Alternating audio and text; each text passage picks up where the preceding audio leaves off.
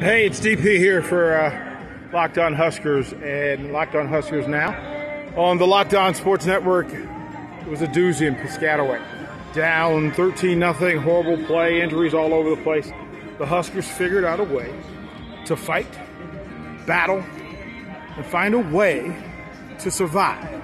Two late scores, including uh, two nice interceptions down the stretch. Casey Thompson was exceptional in the second half big plays from Trey Palmer in the running game. The defense stepped up and did something amazing. Uh, a 14 13 win on the road, which leads to a winning streak. The Huskers have now won two in a row in the Big Ten. Well done. Well done uh, to interim head coach Mickey Joseph. Well done to uh, defensive coordinator Bill Busch, uh, to Mark Whipple for finding a way uh, for this group to put points on the board and just uh, to quote uh, athletic director Trev Alberts, who just now sat in the back with the team, they fought, which is the first thing, first sign of change.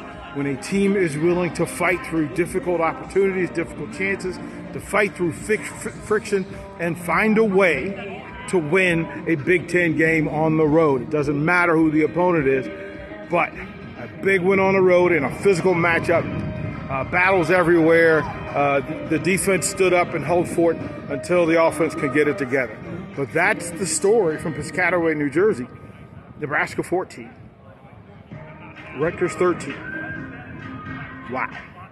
I'm DP. Thanks uh, for checking in. Locked on Huskers, Locked on Huskers now, and the Locked on Sports Network.